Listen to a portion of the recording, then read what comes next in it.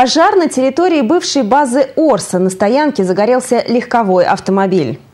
Иномарка была засыпана снегом и, по всей видимости, неисправна. По словам очевидцев, владелец завел автомобиль, чтобы перегнать его на другое место. Но через несколько минут машина вспыхнула. Огонь валил из моторного отсека и из-под днища в районе бензобака.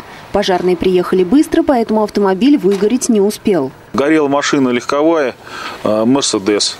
Вот. Предварительная причина пожара данного автомобиля – это неисправность топливопровода. Вот что привело, в принципе, к воспламенению э, легко воспламеняющей жидкости. Там велись просто какие-то ремонтные работы, сказали. Вот. А так как был топливопровод неисправен, э, вытекала легко воспламеняющая жидкость, которая воспламенилась.